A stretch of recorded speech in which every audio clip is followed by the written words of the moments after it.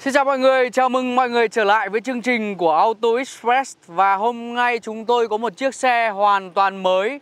Chiếc xe mới ờ, xuất hiện tại thị trường Việt Nam ít đây không lâu. Chiếc ờ, Ford Territory. Đây là một chiếc xe đánh dấu ngôn ngữ thiết kế hoàn toàn mới đối với giải sản phẩm của Ford tại thị trường Việt Nam. Nếu như ờ, trước đây chúng ta từng biết những chiếc xe nhập không chính hãng như chiếc Mustang thì đó là về triết lý thiết kế ờ, Fast Design. Và những thiết kế của Ford Everest hay Ranger thì là thiết kế thiên về vận hành về cơ bắp, về uh, off-road. Thì nay một thiết kế Smart Design mà đại sứ của nó là chiếc Ford Territory Ngày hôm nay chúng ta sẽ trực tiếp trải nghiệm. Về nguồn gốc thì chiếc xe này được lắp ráp hoàn toàn tại Việt Nam trong nhà máy Ford Hải Dương. Và đây là phiên bản Titanium X là phiên bản cao cấp nhất, đắt nhất tại thị trường Việt Nam của Ford Territory. Bên cạnh hai phiên bản Trang và phiên bản Titanium. Cụ thể về giá bán thì chiếc xe của chúng ta có giá là 935 triệu đồng Trong khi đó phiên bản Chen là xuất phát là từ 822 triệu đồng mà thôi. Và bây giờ chúng ta sẽ cùng đi ờ, đánh giá cảm quan về nội ngoại thất cũng như khả năng vận hành của chiếc xe Ford Territory phiên bản Titanium, phiên bản đắt nhất tại thị trường Việt Nam.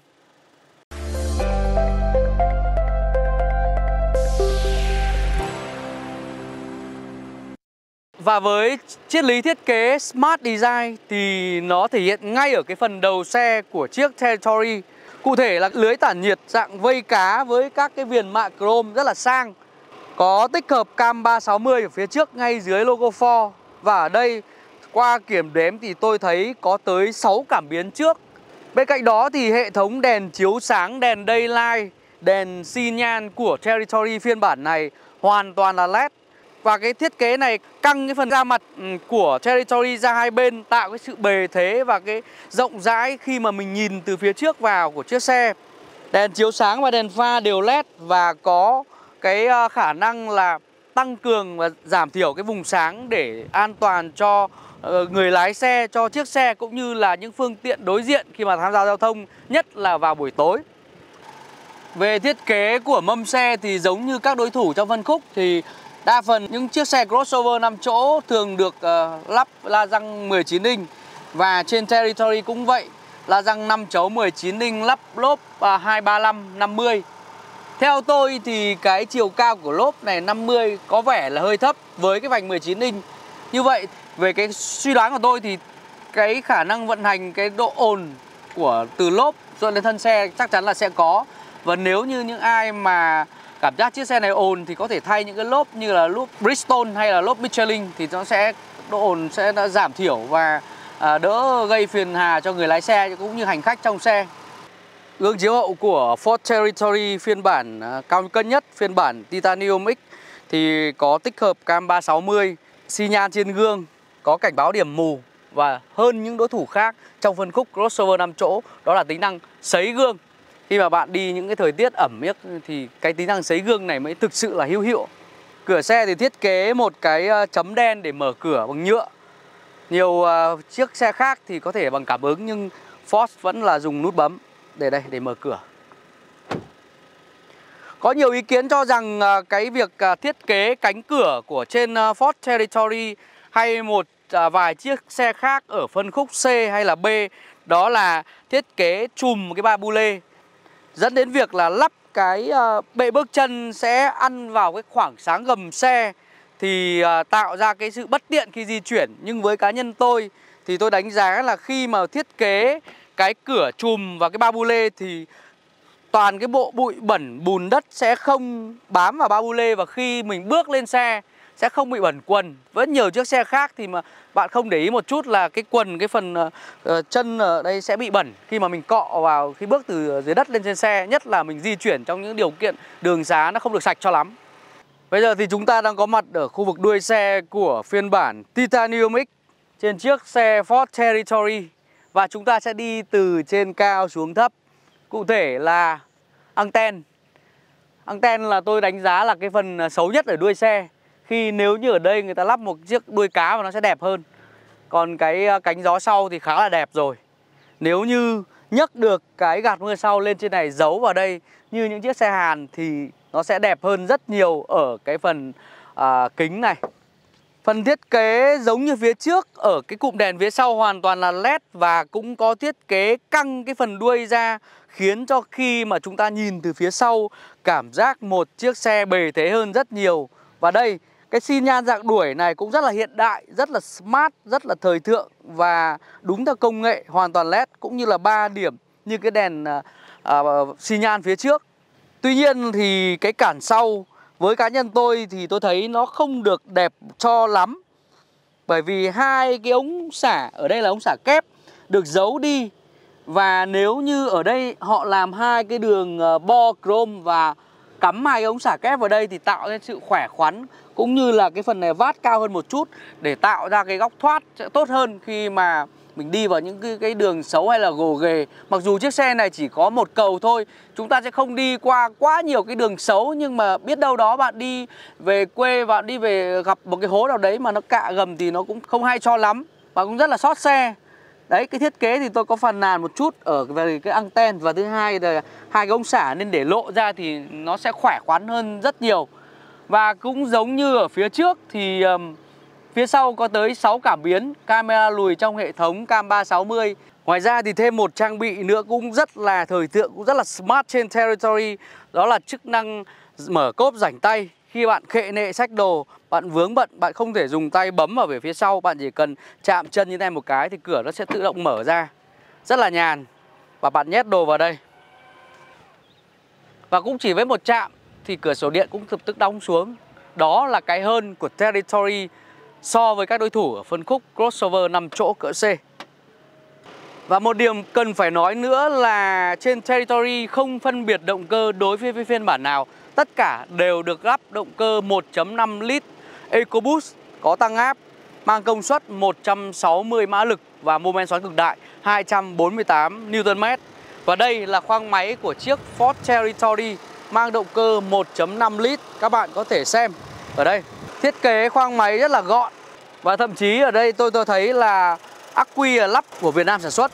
Động cơ này đi cùng với hộp số 7 cấp DCT và ly hợp là nhúng trong dầu ly hợp kép khác với cái ờ, ly hộp khô trước đây trên ờ, hộp số Power Sweep của Ford đã dùng. Và sau đây thì xin mời mọi người đi vào bên trong để xem ờ, nội thất được trang bị những gì có smart như đúng cái triết lý thiết kế của chiếc Ford Territory này không. Rồi, bây giờ thì tôi đã bước vào bên trong khoang lái của chiếc Ford Territory phiên bản đây là phiên bản Titanium X. Điểm đầu tiên, cái điểm mà gây ấn tượng nhất với tôi và có lẽ cũng rất nhiều người khi bước vào trong khoang cabin của chiếc xe này đó là cụm màn hình kép trải dài với hai màn hình 12,3 inch, màn hình trung tâm 12,3 inch không có cảm ứng, màn hình giải trí 12,3 inch có cảm ứng có Apple CarPlay và Android Auto không dây. Và đây là các bạn có thể thấy cái hệ thống cam 360 cực nét Thậm chí theo cá nhân tôi thì đây là một trong những chiếc cam nét nhất phân khúc.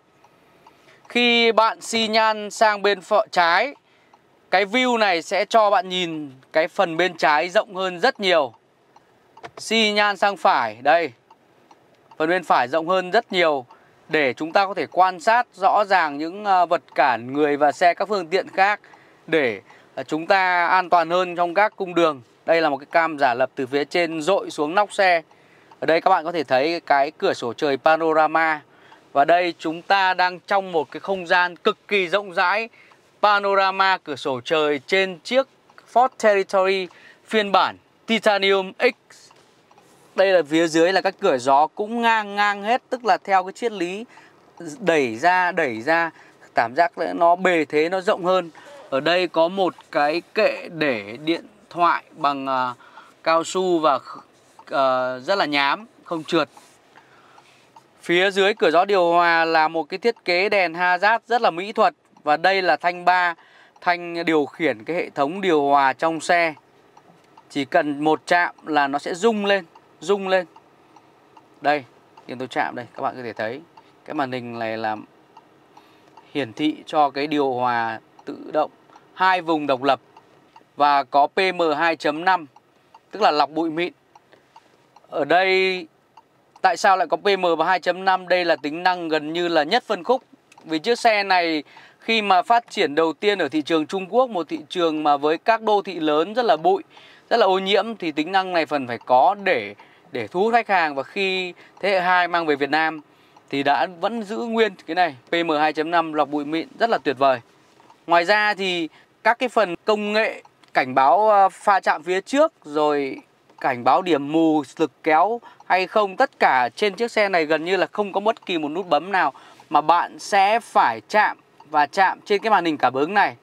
Ở đây tôi có thể thấy là cài đặt ờ, độ nhạy của cảnh báo va chạm phía trước, bạn có thể bật tắt. Khi mà bạn thấy bạn lái quá tự tin rồi, không phải, hoặc là đi trên những cái xa lộ mà không phải đi trong cung phố đông đúc, thì bạn không cần dùng chức năng này. Đấy. Đấy, cảnh báo điểm mù bạn có thể bật hoặc tắt âm thanh. Khi mà các phương tiện đấy thì nó sẽ kêu hay không. Rồi à, độ nhạy đèn pha thông minh đấy. Đèn pha thông minh thì có hay không bạn dùng là muốn bật hay tắt hay không? Bạn tắt cái kiểm soát lực kéo ở đây. Đấy. Hay là đổ đèo? Cần à, hỗ trợ đổ đèo hay không? Bạn tự tin ở xuống con đèo này bạn không cần bật. Về trang bị màn hình kép hai cái màn hình 12,3 inch này thì rất hiện đại rất là thời tre thượng rồi. Tuy nhiên với uh, tôi với quá trình sử dụng thì tôi thấy có một số bất tiện như thế này. Ngồi ở vị trí người lái mà với ra đây chạm vào các cái biểu tượng như là lấy gió trong gió ngoài tăng giảm nhiệt độ chọn hướng gió thì cái biểu tượng này nó hơi bé. Và nếu uh, vì đang lái xe mà mình chọn cái biểu tượng này thì nó nhiều khi nó rất là bất tiện. Ngoài ra một cái uh, tính năng nữa là khi mà mình chọn các cái thiết bị về vận hành ví dụ chế độ lái này tắt kiểm soát lực kéo hay là tắt mở cái ờ, hỗ trợ đổ đèo hay không thì bạn phải hoàn toàn chạm vào đây. Như vậy vất mất thời gian không chỉ một chạm mà phải đến 3 4 lần chạm, chọn đủ các thư mục thì mới vào cái thư mục mà mình cần điều chỉnh thì nó cũng khá là bất tiện. Nếu như ở đây có một cái nút chế độ lái uh, xoay các chế độ lái tốt hơn thì sẽ hay hơn. Nhưng có lẽ là do mà cái triết lý thiết kế smart design của Territory nên nhà sản xuất mới đưa như vậy. Nhưng với cá nhân tôi khi mà có thời gian trải nghiệm cùng chiếc xe này thì tôi thấy đó là những cái bất tiện đối với cái màn hình này. Cảm ứng rất là hay nhưng mà nhiều khi cái cái tính năng thì nó là khá bất tiện trên chiếc Territory. Phía dưới ờ, đây là một cái thiết kế rất là hay tôi nghĩ là hay của cái sạc không dây ở nhiều chiếc xe khác thì họ không có các cái G thì cái điện thoại nó sẽ di chuyển thậm chí là nó không vào đúng cái điểm sạc thì nó không sạc uh, cho điện thoại.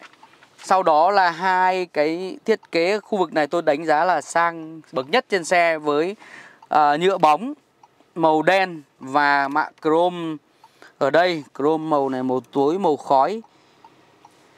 Sau khi di chuyển thì tôi thấy cái cần số này cần số điện tử này thì rất hiện đại rồi tuy nhiên, nếu như nút P mà thay vào chỗ nút L này thì nó sẽ hay hơn và tiện dụng hơn bởi vì trong quá trình sử dụng, nhiều người sẽ, thậm chí là đi quá cái cái nấc số. Khi bạn muốn từ D bạn về L, R đây, bạn về lùi số, bạn thậm chí là bạn vặn hẳn về P thì nó sẽ hơi bất tiện. Với nhiều chiếc xe sang khác hay chiếc xe ở phân khúc của hãng khác thì họ để nút P trên các cần số điện tử là nút bấm.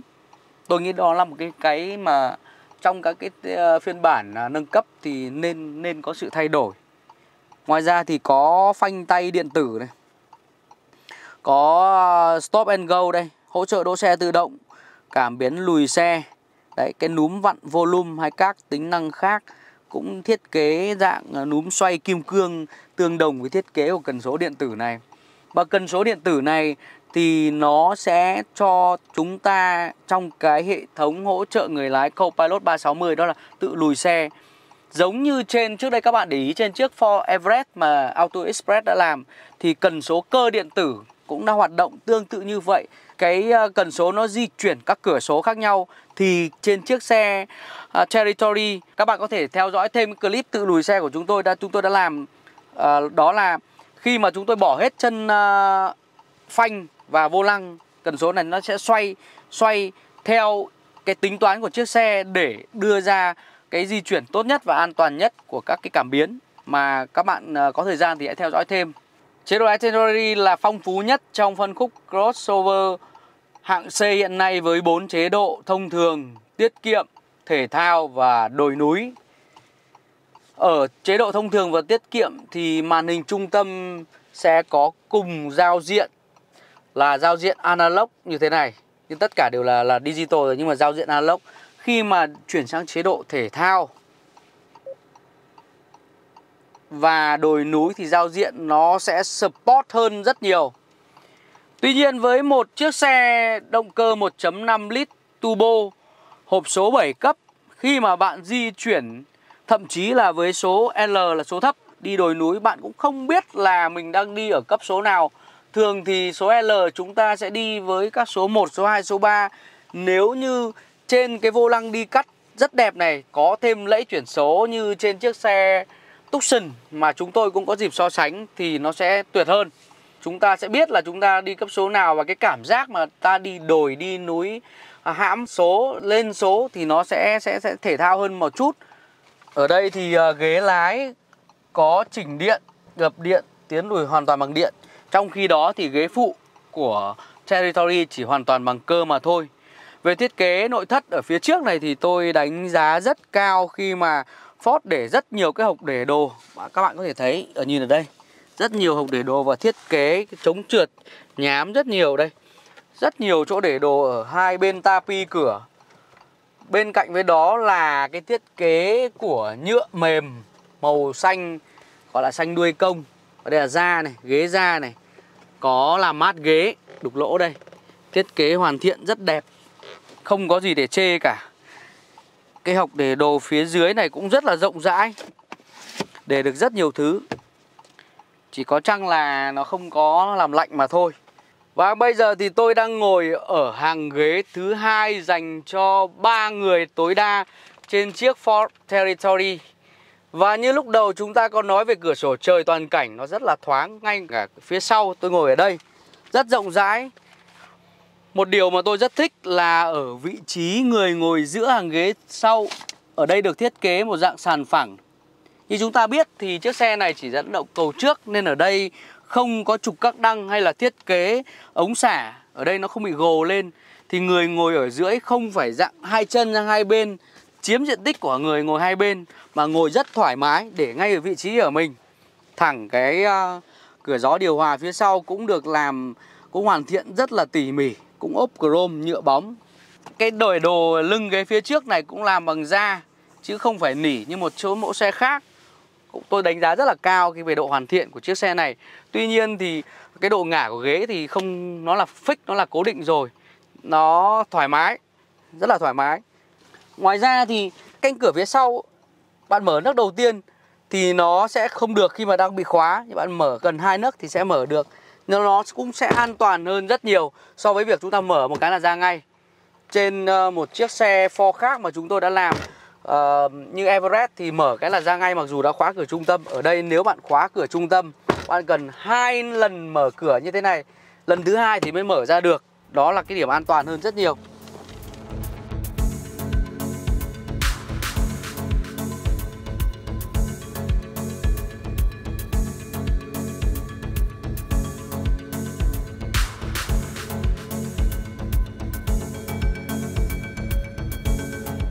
Về khả năng vận hành của chiếc xe Ford Territory thì ờ, trước khi mà ngồi ở ghế lái này thì tôi có cảm nhận là cái kính lái của chiếc xe này khá tốt như những chiếc xe Ford hiện nay. Cái tốc độ khi chuyển khá cao 80 90 cảm giác so với cái cửa bên hông thì nó hoàn toàn khác biệt. Kính thực sự là rất là tốt. Thứ hai, nếu mà cái vô lăng đi cắt này mà đi kèm với cái lẫy chuyển số trên vô lăng thì không còn gì để nói nữa so với các mẫu xe ở phân khúc crossover 5 chỗ. Tuy nhiên thì ờ, không được trang bị, đó là một điều đáng tiếc. Về chiếc xe này tôi có cảm nhận là Ford không hướng đến cái tốc độ. Khi mà vòng tua giới hạn cũng không quá cao 5 đến 6 nghìn vòng tối đa khoảng ờ, 6 nghìn vòng tối đa. Nhưng lực kéo thì khá tốt và cụ thể khi mà chúng tôi uh, đi qua con uh, sông Bôi và đi lên các cái dốc để xuống Thung Châu kéo khá là tốt với một động cơ 1.5 lít 160 mã lực dẫn động cầu trước nếu với những ai mà thích uh, công nghệ, thích trang bị với những công nghệ hiện đại bậc nhất uh, hiện nay và không đi quá nhiều cái cung đường xấu mà thường xuyên gì ở trong phố thì chiếc xe này tôi thấy khá phù hợp với gia đình. À, về mặt tiện nghi thì chiếc xe này ngồi ở ghế lái hay ghế phía sau. Khi mà trên một chiếc xe này với cá nhân tôi thì tôi thấy treo nó khá là mềm mà ghế mềm nữa. Khi mà bạn bắt các cái con cua ấy con đèo ấy thì thì thì nó sẽ rất là bồng bềnh về độ trễ chân ga không quá quá trễ và ở các cái giải tốc từ 1 ờ, nghìn, 2 nghìn thậm chí 3 nghìn vòng tua máy ấy, thì tôi thấy là khi mà đến đến 3 nghìn vòng thì hơi có một chút gào thôi. Thì đấy là cái gào của turbo mà khi mà kính ờ, mình đóng kín hết thì cũng không không nhận rõ lắm. Phải ai tinh tế tinh tai lắm thì mới nhìn rõ được. Còn về cái lốp mà ờ, Goodyear mà lắp trên cái vành 19 inch cái độ dày mỏng thì ờ, độ ồn ở chiếc xe này ở các cái cung đường không quá xấu thì tôi thấy chấp nhận được khi mà vào cung đường hết cái lớp nhựa hết lớp asphalt thì nó mới hơi ồn một chút.